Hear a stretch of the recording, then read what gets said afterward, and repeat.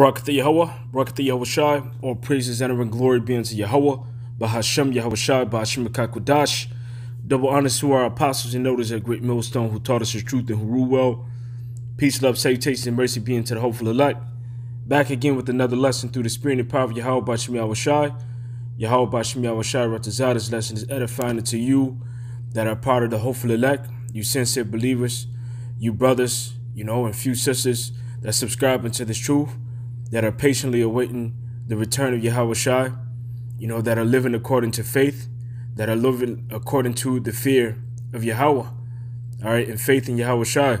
All right, this is how you're going to overcome this man's system, man. All right, not bowing the knee to the image of Baal, not receiving the true mark of the beast, which is the RFID chip, or not receiving this man's vaccine, you know, as some false prophets are leading you to believe that it is okay to do such a thing you know, in which these things goes against Yahweh Bashem Yahushai. Second Thessalonians 3 and 2, in that we may be delivered from unreasonable and wicked men. For all men have not faith. For all men have not faith. The inspiration of this lesson comes from, you know, the video that was done by the man who calls himself General Yahanna. All right, in which he's not a prophet or a true man of the Lord. Hey, the scriptures say that you will know a tree by its fruits. All right, and his fruits are wicked, man. All right, you will know a, a false prophet by the things that he teach you. First of all, you know, in this three recent video that was three hours, 28 minutes, and 13 seconds, all right, there was only four scriptures that were brought out in which all of them were broken down wrong. And then also, he never mentioned the name of Yahweh. He never mentioned the name of Yahweh Shai. And he never mentioned to have faith in Yahweh Bashem Yahweh Shai. He never mentioned anything concerning faith. All right, but he told you to pretty much have faith in Esau Edom.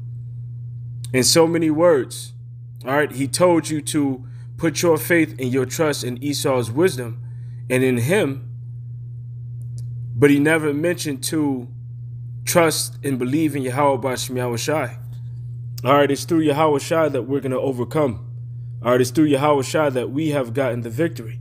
The book of John, the 16th chapter, and going down to 33. These things have I spoken unto you, that in me ye might have peace. In the world ye shall have tribulation, but be of good cheer. I have overcome the world. Now, part of the tribulation that we're going to endure is the hour of temptation. The word there for tribulation is thlipsis, which means oppressing, pressing together, pressure, metaphor, oppression, affliction, tribulation, distress, straits. All right, Esau is about to put you in straits concerning all right, the, the mark of the beast, which is the RFID chip. All right, in first beginning, all right, with this Maxine. All right, with this Maxine, they're going to eventually make it mandatory for everyone to receive it. And for those that don't receive it, you're going to be ostracized from society. All right, Esau would take you, you know, he would throw you in jail. All right, he would, you know, ruin your life, so to speak. You know, he's going to take away your job. You know, he's going to take away, you know, the money and the monetary system that you are used to. All right, he's going to introduce something else eventually. All right, but the way that you're going to overcome this moment, all right, Revelation 2 and 10, it says, Fear none of those things which thou shalt suffer. Behold, the devil shall cast some of you into prison, and you, that you may be tried, and you shall have tribulation ten days. Be thou faithful unto death, and I will give thee a crown of life. Now, how do you remain faithful? Or what do you remain faithful to? Or rather, who do you remain faithful to?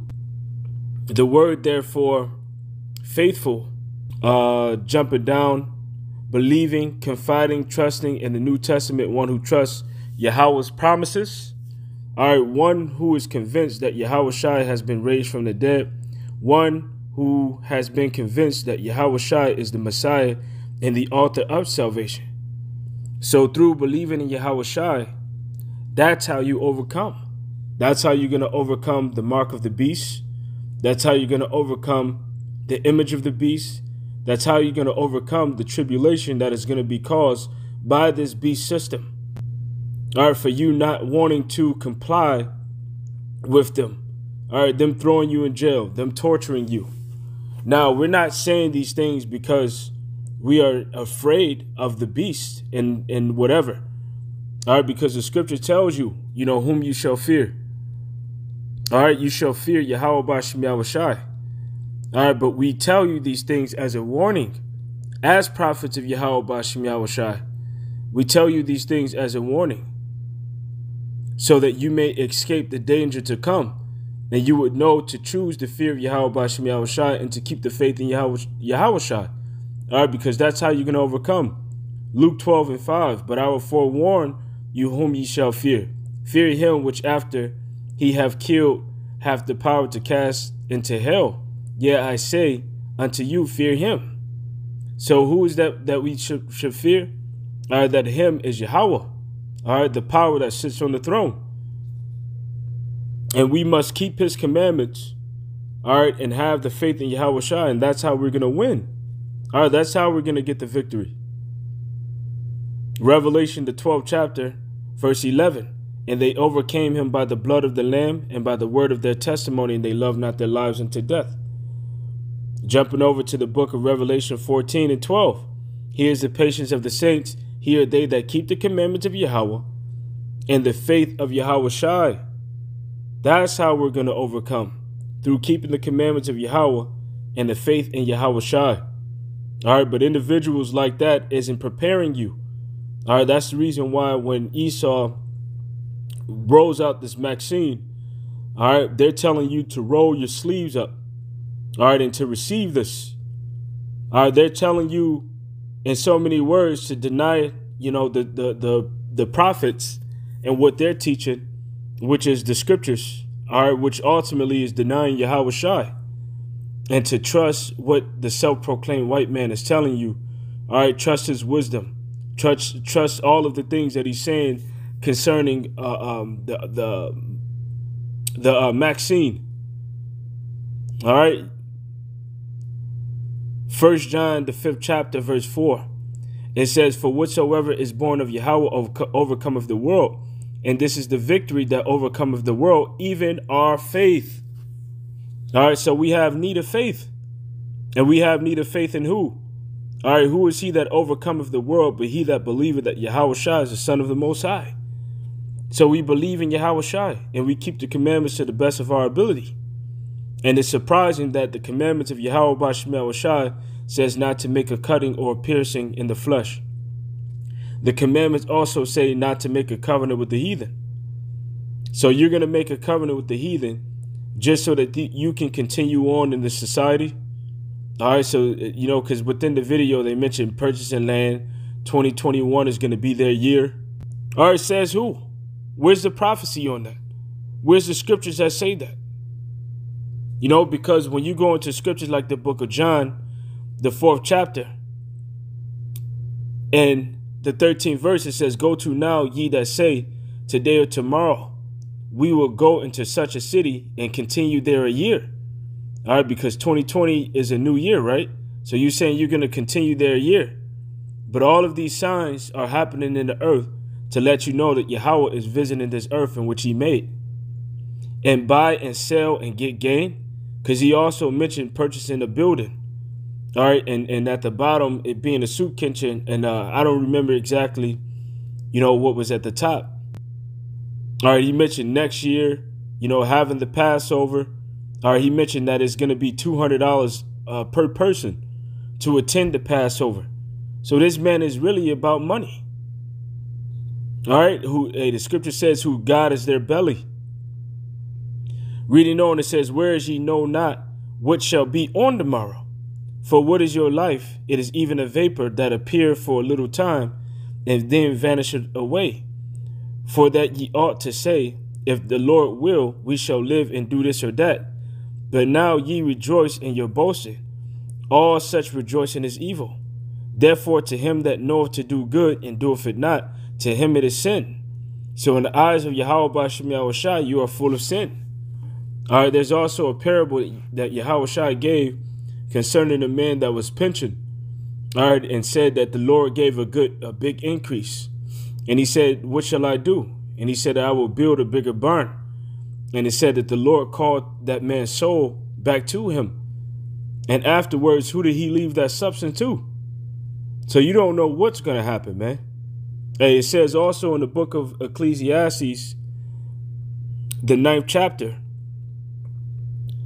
and about the 12th verse, it says, For a man also knoweth not his time, as the fishes that are taken in the evil net, and the birds that are caught in the snare. So are the sons of men snared in the evil time when it falleth suddenly upon him. And you're not watching, you know, and, and monitoring the time. You're not occupied in prophecy. So you don't know what the hell is going on. The only thing that you know is somebody responded back to something that you said, which was completely carnal and not based off faith. So you did an emotional video that was three hours, 28 minutes, and 13 seconds long and brought out four scriptures in which you broke down wrong, and the rest was just an emotional rant. You know, it was just an emotional rant. All right, you didn't warn the people to have faith in Yahweh. You didn't mention the name of Yahweh. All right, and you pretty much told to peop- the people to deny the prophets and to trust Esau, the self-proclaimed white man, over the prophets and what the scriptures are saying. Luke 21 and 34, it says, And take heed to yourselves, lest ye be lest at any time your hearts be overcharged with surfeiting and drunkenness and cares of this life, and so that day come upon you in unawares. And that's all that I heard in that video. All right, was you being concerned with the cares of this life. Oh, I got a soup kitchen and I fed this person and I put this person in school and you know this person, you know, we put them through doctor school and you know, and we're looking to buy land and and um you, you, you don't hear any other teachers talking about building up communities and building schools. Are you concerned with the cares of this life, my man? You're not concerned with prophecy. You're not concerned with the kingdom. So therefore, you are you are full of surfeiting. All right, you are full of uh, uh, uh, wine. All right, which is false philosophy. All right, the philosophies of this world, which got you drunken to the point where, you, where you're asleep and you're putting the people to sleep. Strong's G 2897, Kraipale. Kraipale. Kraipale. Thayer's Lexicon, related entry, Kraipale. Kraipale. The giddiness and headache caused by drinking wine to excess. So you are completely drunken and you are not observing the times through prophecy. All right. And the reason why is truly because you're not a prophet. For a snare shall it come on all them that dwell on the face of the whole earth. Watch ye therefore and pray always, that ye may be accounted worthy to escape all these things that shall come to pass and stand before the Son of Man. So these people that you are preparing, or call yourself preparing, they're not going to be ready in the day of Yahweh Bashmiah Shai, in which he cometh as a thief in the night. Because they too are going to be drunk off of the philosophy and not ready. All right, they're going to be in the spirit of, you know, uh, uh, uh, going to soup kitchens and, and, and, and, you know, building up a community. All right, they're not ready to get the hell out of here, which the scripture says that when you see certain things happening, all right, be in the spirit of, of being a pilgrim in the earth. All right, someone that's ready to lose everything. But they're not going to be ready to, to lose everything. All right, going over to the book of Second Ezra, the sixth chapter. Reading from verse 40, it says, O my people, hear my word, make you ready to the battle. And in those those those evils be even as pilgrims in the earth.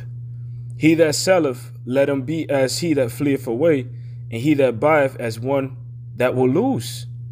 He that occupieth merchandise as he that hath no profit by it, and he that buildeth as he that shall not dwell therein. So that's the mentality that you're supposed to be in. All right, although you're building, which there's no sin against having a building, and there's no sin against having land. But if you're putting those things over the truth, all right, then there is a problem with that. If you're putting those things over Yahweh Bashim Shai, then there is a, a problem in that. All right, and nobody fears, you know, Esau Edom, and nobody fears his his his uh, Maxine, but we fear sinning against Yahweh Bashim Shai, and we believe that receiving this is a sin against Yahweh Bashim Shai. So that's the reason that we're not in the spirit of taking it, because we would rather fall into the hands of Yahweh than into the hands of man. Like it says right here within the book of Sirach, the second chapter, in the 18th verse. It says, saying, We will fall into the hands of Yahweh and not into the hands of men. For as his majesty is, so is his mercy. And David shared the same sentiment. David was in the same spirit all right, in which uh, Israel sinned against the Most High Heavenly Father, all right, and he was angry, and he moved David to number the children of Israel. You know, so when David did that, what did the Lord do? He brought a plague upon the children of Israel. So we understand that this plague, which is a Sivat 1984, is ultimately from Yahweh Bashmiah Shai, although he used Esau as an agent to spread it throughout the earth. At the end of the day, Yahweh Bashim Shah is the one that is controlling controlling all of these nations that are in charge. All right, he's the one that's controlling Esau, Edom. So at the end of the day, this is Yahweh Shah is doing. So we ought to fear him and trust in him and to fall into his hands rather than to fall into the hands of men. But if you receive a Maxine, that's you trusting in Esau, Edom, for aid. That's you trusting in him for support. That's you trusting in him for deliverance. That's you staying upon your oppressor that smote you. If you do the same with the RFID chip, which is the mark of the beast, all right, that's you trusting and falling into the hands of men. All right, you're looking for his mercy. All right, which the scripture say that the tender mercies of the wicked are cruel. So Esau has an agenda at the end of the day, but you want to convince the people that Esau isn't against them all right, and that he wants to keep them alive. Does not the scripture say that I will put enmity between, all right, the, the seed of the woman and the seed of the serpent? Does not the scripture say two nations were separated from thy bowels, and the one people shall be stronger than the other people? All right, the children of Esau hates us, man, and we hate them. First Chronicles 21 and 1. And Satan stood up against Israel and provoked David to number Israel. So Satan stood up and provoked David to number Israel, which the Most High Heavenly Father sent Satan to do this. All right, and it mentions that also within uh, 2 Samuel 24 and 1. It says, And again the anger of Yahweh was kindled against Israel, and he moved David against them to go, uh, to say, uh, Go and number Israel and Judah. So the anger of Yahweh by Shemuel Shai was provoked against the children of Israel, so he sent David to number Israel.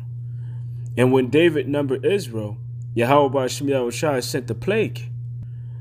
This is uh Second Chronicles 21 and 11. So Gad came to David and said unto him, Thus saith Yahweh choose thee, either three years of famine, three months uh, to be destroyed of thy foes, and while the sword of thine enemies overtake thee, or else three days the sword of Yahweh, even the pestilence in the land, and the angel of Yahweh destroying throughout all the coasts of Israel. Now therefore advise thyself what word I shall bring again to him that sent me. And David said unto Gad, I am in, in a great strait. Let me fall now into the hand of Yahweh, for very great are his mercies, but let me not fall into the hand of man. So Yahweh sent pestilence in Israel, and there fell in Israel 70,000 men. So it was Yahweh Bashem Yahushai that brought the plague upon the children of Israel. All right, so what did David say? He said, Let me fall into the hands of Yahweh than rather to fall into the hands of men. All right, but Yahanna wants you to fall into the hands of men. All right, which the, the men doesn't show you any mercy at all. All right, as I quoted the scripture, uh, the tender mercy of the wicked are cruel. So it is Yahweh at the end of the day that bring these viruses and plagues and pestilence and diseases in the earth. So therefore, the best thing to do is to repent and to turn away from your iniquity. All right, to repent and turn away from your iniquity. All right, to turn away from your sins and to ask Yahweh Shai for mercy.